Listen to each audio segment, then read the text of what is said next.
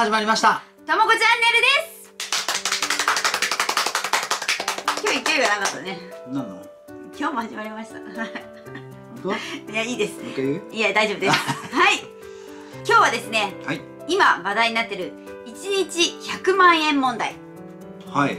ツイッターでもですねあの、はい。はい本当に情報が飛び交っててですね、私たちも前から維新には騙されないでくださいって散々言ってきたと思うんですよ。うんうん。まあその詳しいことはですねあんまり言ってなかったですけれども今回のですねこの問題でたくさんの維新のうん。こう今までの悪いことがですねどんどんどんどん暴かれていったのでうん。維新はいいって思ってる方のためにですね今日はみんなぶった切る。ぶった切りますよ。スカッとする？スカッとすると思います。はい たはい、まあ、スカッとするというかですね、うん。維新を応援しないで、令和新選組を応援するようになる人が増えるといいですね、これで。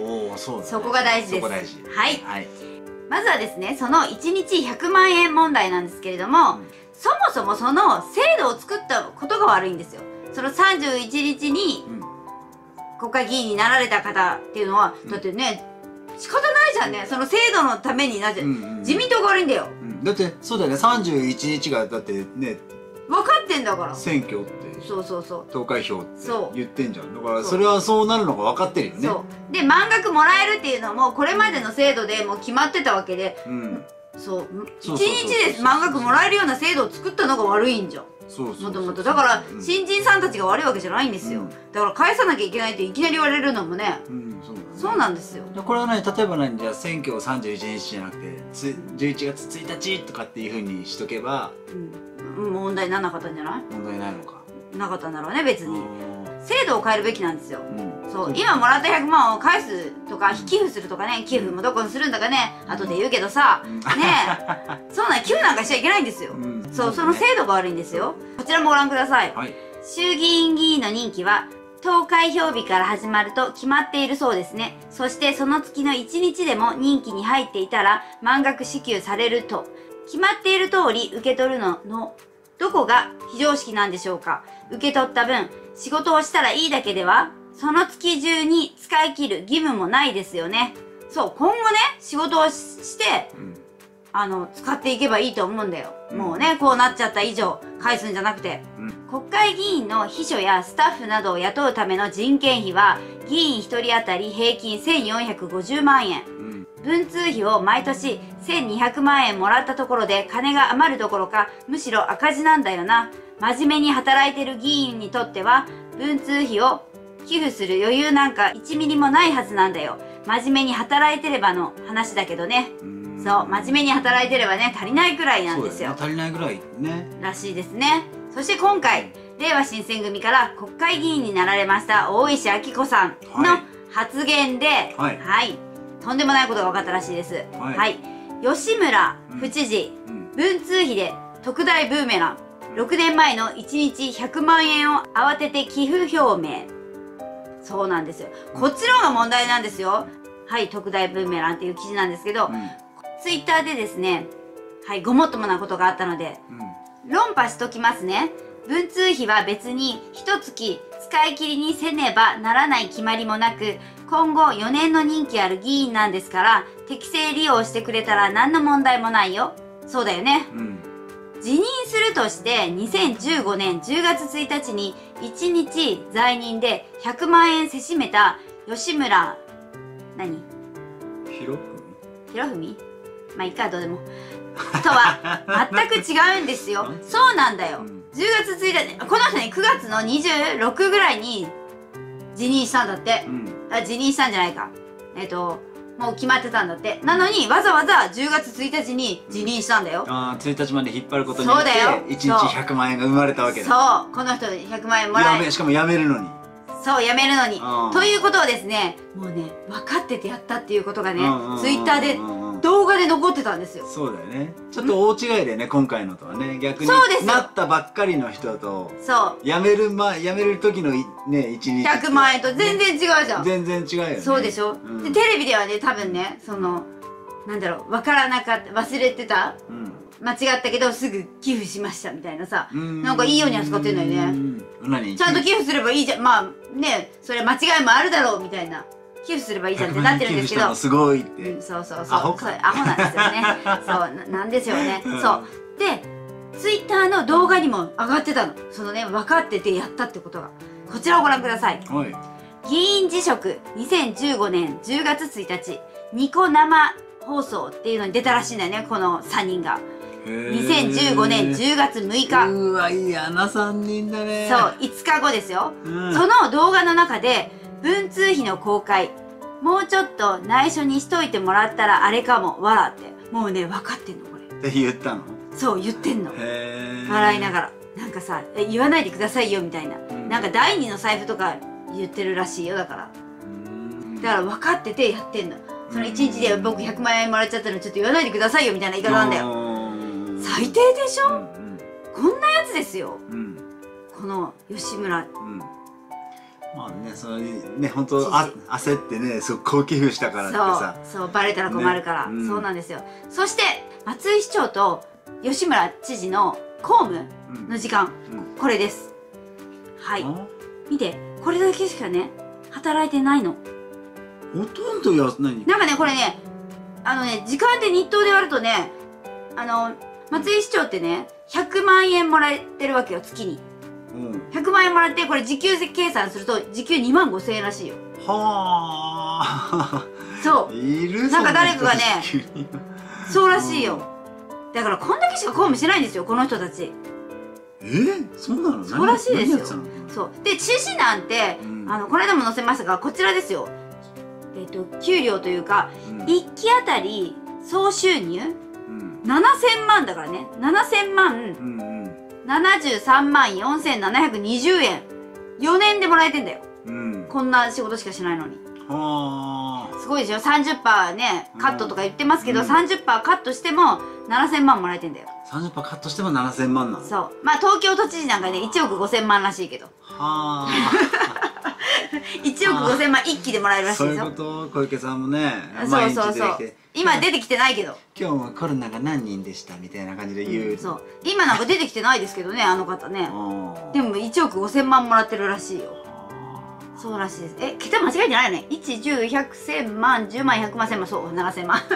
ねえ700万。なわけないなわけない。7000万らしいですよ。一気で。この仕事ね。でしょ、うん。そうなんですよ。はい次次維新自分宛て領収書横行という横行だよね。横行ということでこれどういう意味かと言いますとうん。文書交通費5.7億円分。うん。自分にねあの領収書を切ってる人がいるんですよ。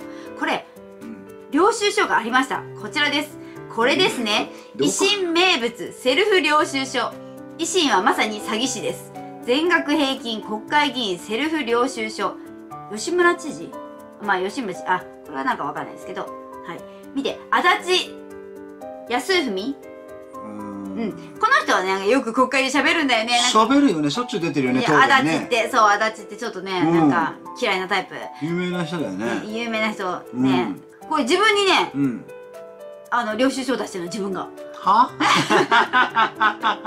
セルフ領収書。えいいのそんなこと。よくないよね。えじゃあできるのそんなこと。できるらしいよ。寄付だって寄付として60万4088円。このね4088円ってなんだよって思うけど、はい、そんな感じなんですよ。何として？あ寄付として寄ね付として。そう。そして、うんえー次はですね丸山穂高うん。前議員だね。今議員じゃないらしいのでこの方。はい。が暴露したことがあるんですよ。なんで今議員じゃないうんと衆議院議員だったんだよね。で辞めてもう次やらなかったんだよね。はい。その方がですね、えっ、と、維新が政党交付金から維新議員に税金を流して、うんさらに維新議員が1ヶ月で何百万円も組織活動費として浪費していることを丸山穂高が暴露。この組織活動費は具体的な使途が全くわからない。うん維新は税金なんだから使い道を公開すべきだ、だの、身を切る改革だの、どの口で言うのかというね。ということでね、これすごいんだよ。はい。政治活動費のな内訳。うんいい？すごいんだよ、この人。はい、こちらをご覧ください。はい政策活動費。あのね、馬場さんって人がすごいの。馬場幹事長っているんだよね。ああの人にね、すごい流れてるんですよ。よくテレビ出るよねいくよ。1月10日、200万。200万だよね。そう、200万。はい。1月21日、180万。2月6日、150万。2月21日250万3月5日300万。ね次。まだまだあるんですよ。えー、馬場さんね。はい。3月22日350万。4月10日280万。4月23日210万。5月8日300万。5月23日550万。ちょっとあのキリがないので。馬場さんそうだけ馬場さんだけ桁が桁がすごいでしょ？でも長いのでこれね、うん。合計するとねあのね65まであるの。65うん。5865万8000円っていうのがねこれ馬場さんにボンボンボンボン流れてるんだって。すごいでしょ？ょ維新ってねお金あるんですよ。なぜかというのも後で言います。こんなに流れるわけないじゃん？普通。流れるお金があるんですよ。なぜか。それは後で教えますね。あるんだ、はい。うん、そうなんですよ。他にも言ってますよ。うん。カジノ視察豪華旅行はい、維新大阪府議団税金で海外へ。6回4575万円支出。6回行っただけで4575 6回万円も。6回かい何人で行ったの？11人とか15人とかあ8 10人とか。どうせこれいさや吉村府知事とさ、うん。松井市長も行ってるよね。あ言ってるだろうね。ね。ね。そうそうそう。そうらしいですよ。大阪府議団だららしいですけど。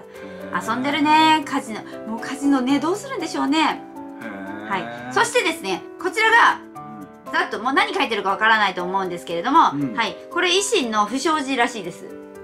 なんとか不正不正って書いてあるじゃない。スキャンダルとか。はいもう多すぎてですねはい読めないという、はい、こんだけあるんですよ。細かいのもいっぱい。うん。はい出てるだけでこれらしいです、うん続きまして。まだ出る。はいこちらです。維新は身を切る改革なんて言ってる割に政党助成金はしっかりもらっているんだよね。ああそうだよね。ちなみに、うん。維新が目の敵にしている日本共産党はうん。政党助成金をい一切受け取っていない。私たちもさ前にやった時にさ「え日本そうそうそうそう。共産党もらってないんだ」って言ったじゃそうんうん。そうらしいんですよ、うん。維新はねなんと18億もらってんだよ21年度18億で来年度なんて議員増えたじゃん、うん。30億らしいよ。ああそう。そう。だからその18億あるから、うん。そうやってボンボンボンボンねそうだよね。自分のあれ作っあの、うん口座作ってどんどんどんどん、うん。政治なんか団体かなんか作ってうん。流してるんですよ。だからね嘘ばっかりなんですよ。だからね。身を切る改革とか個人の寄付のみで運営してるって言ってるらしいんだよ、そうらしいんですよ。維新の会って。皆さんそう思ってたでしょ？その次もらえる次もらえる30億をね受け取らないとかって言ってんだったらさあそうそう。あなんか身を切ってんだなって感じがするそこ大事よね。ねそこは普通にがっつりもらっといてさ。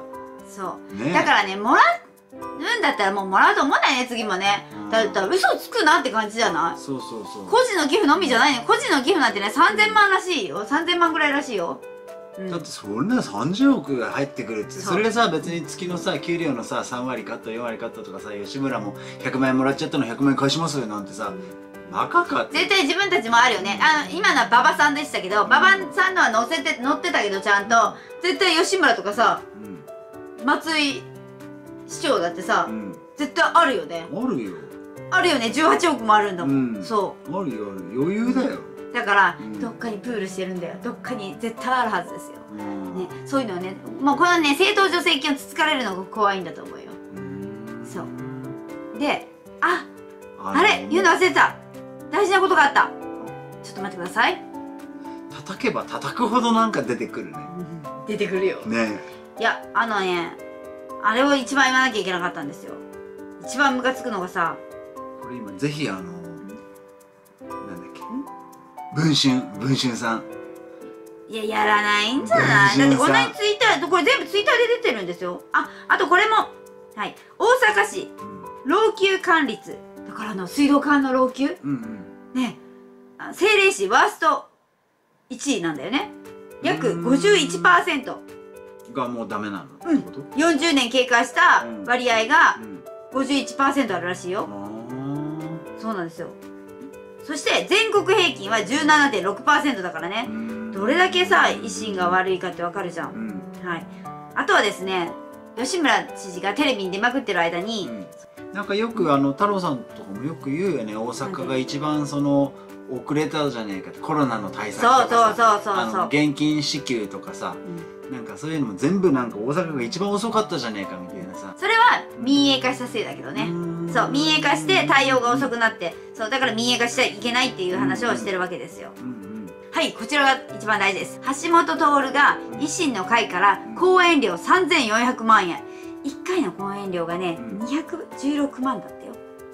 大阪維新の会はげ激動騒動後の18年にも216万円を支払っているがこの年国際政治学者の三浦瑠麗氏などの他の講師に支払われたのは一律30万円。うん橋本氏の講演料がいかに法外なものかがわかるのだ。だから橋本だけ216万なんだよ。そんなもらえるのそう。一回合計やった3400万だよ。一回やっただけでしょ？1回やっただけで200万だって。すごいでしょ？だからこんだけお金がやっぱりあるわけですよ。これ税金ね18億あるからね？橋本にもバンバンバンバンねうん。ちょっと講演してさ払ってるわけよ。うん全然身を切ってないでしょ？皆さん。全然切ってないよね。そうなんですよ。ちょっと長くなっちゃったね。うん。まあいいんじゃない？だっていっぱいあるんだもん。そうなんです、うん。いっぱいあるんだけ？どそして維新祭はい。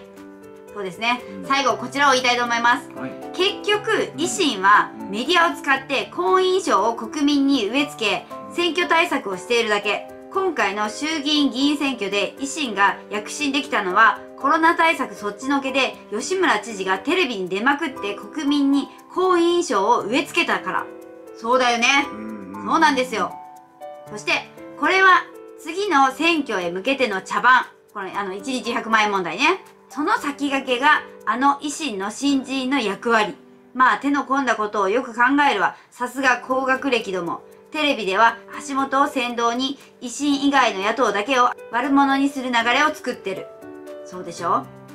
ね。うん。自分で自分に領収書を切ってその金で海外のカジノで合流できるんだもんね。改革？無駄？身を切る？何言ってんだこいつら。こんなのが衆議院選挙で大阪を牛耳り。さらに兵庫県まで進出しようとしている。投票してる大阪府民は恥ずかしくないのか。今後ぶっ壊されるのは大阪だけで兵庫県に侵入しないでほしい。兵庫県の人なのかなや本当にでも大阪府民の人目を覚まさないとやばいよねこれね。やばいね。やばいですよ本当に。やばい。大阪の方たち。やばい。まあはい。確かに今回そういう意見結構聞いたよね。あの自民党はダメだよみたいな、うん。でも枝野はもっとダメだよみたいなさ、うんそう。で石に入れちゃった人がたくさんいるんでしょうけどうん間違ってますからね。これのうん。今日のねよく考えてくださいそうね、はい。これをどうその人たちに伝えていくか？そうだよね。うーん。伝えていきましょうね。分かった人たちが。うん。気づはいいた人がどんどんそうそうどんどんね。石なんか良くないよって。うん。そうじゃあこれ見てって言ってください。ね。はい。そして一番大事なのはこれです。うん。公務員や政治家の給料を減らすことに必死な政党より税金下げたり国民所得を上げることに必死になってくれる政党の方がいい。うん、うん、そうでしょ？その通り。その通りなんですよ皆さん。うん。そんな政党は令和新選組しかいません。そうだね。はい。もう本当令和新選組がもうダントツじゃん。そうだよ。ダントツだよね。そうなんですよ。私たちが言ってることを信じて信じてみんな。本当まあさ なんだろうな。新選組じゃなきゃ本当に変えらんないんだよ。変えられないんですよ。まあね例えばなね長長期的に見て変えられんのかもしれないけどさ、だからもうねうん。ね令和新選組の一番早いよね。そう。だから積極財政をうん進めるからね。積積極極財財政を考えてる人じゃないとダメですからね、うん。今後も、うん。なので立憲のね議員の皆さんも積極財政だったらね、うん。もう令和に来た方がいいそうだよね。令和をさもう大きくしていこうよ。経済成長をずーっとしてきてる海外はもう常に積極財政だから。そうなんですよ、ね。もう分かってるでしょ？そうそうそうそう。しかも立憲さん立憲の中でも分かってる人いっぱいいるわけじゃないですか、積極財政しないといけないって、うん。ね山本太郎さんを応援してる人だっているわけじゃない、うんもう来ればって思わない？本当もうねみんなもうもういいじゃん。ちょうどさ今解散、うん。え解散じゃないけど、うん。枝野さんが降りて、うん。新しい代表になろうとしてるけどまあその代表にもよるけど、うん。もうやばい人だったらみんな令和に来た方がいい。なそこバーって令和に来ちゃえばそいうそうそう。あ無理無理無理って言って、うん。うん。大丈夫だよね、うん。大丈夫ですよ。大丈夫。勇気を出して。うん。山本太郎さんがあんなに勇気出してんだから、大丈夫？本当だよ。ねえ。みんなでやろょ国民のためにって、そさ、そしたら話題性にもなるじゃん。令和にさ例えば何十人来たって言ったらさそれを取り上げざるを得ないもんね。そうだよね。それいいね、うん。それいいね。それいい考え。行きましょう。これ見てるあの立憲の議員の皆さん。見ないよ。見ない。と思いますがでもそういう方向に行くのがね、日本人を助けるにはね国民を助けるにはね一番いいと思います。はい、ね今後もね私たちあのテレビでね放送されないこともうきっとテレビはねこれからもね維新いいってね橋本徹が出てうん。言うよね、うんうんうんそう。で野党野党っていうか令和を叩きまくると思うんですけどいやいや負けちゃダメ。もうね。令和では放送されない事実をねここでね放送したいと。放送、うん。いいつだっけ？昨日だっけ？一昨日だっけ？なんかあのー今太郎さんに回ってるじゃない、うん。なんかさあのガソリンガソリンねガソリン税今今ガソリンそううん。上がってるじゃないみたいな、うん。そんな何寝ぼけたこと言ってんの？ガソリン税ねなくせばいいじゃないみたいなさ、うん。それだけで安くなるんだから。そうだよね。消費税廃止とガソリン税廃止訴えるって言ってたよね。あそうだよね。訴えるって言ってましたね。はい。なのでうん。そういうふうにねもうどんどんどんどん国民のために。国ねできるっていうことなんだよね。できる。そう消費税ゼロガソリン税ゼロ、そう。ね。だからそれをね分かってくださる国民を増やすために今後も頑張っていきたいと思います。何でもできるの、来年の7月参議院選挙に向けてですね。あの参議院選挙でねねじれ国会を作れればいいと思いますので、絶対作らなきゃダメ。だよね絶対作らなきゃ。絶対作らなきゃ頑張りましょう皆さんで、うん。はい。ねじれの意味が分かんないるかもしじゃあ次回。もう長くなっちゃったから。はい次回。いや次回っていうか今度。はい。れない。はい。このチャンネルを初めてご覧になった方まだチャンネル登録されていない方はチャンネル登録していただけると嬉しいです、はい、この動画が少しでも良かったよって方は応援の高評価もぜひよろしくお願いします。はい、はい。それでは皆様ご一緒に、はい、行きましょ合言葉は選挙に。う行こう。あはい。今日も最後までご視聴いただきありがとうございましりがとうたございましたよしよかったんじゃん？いいやいいや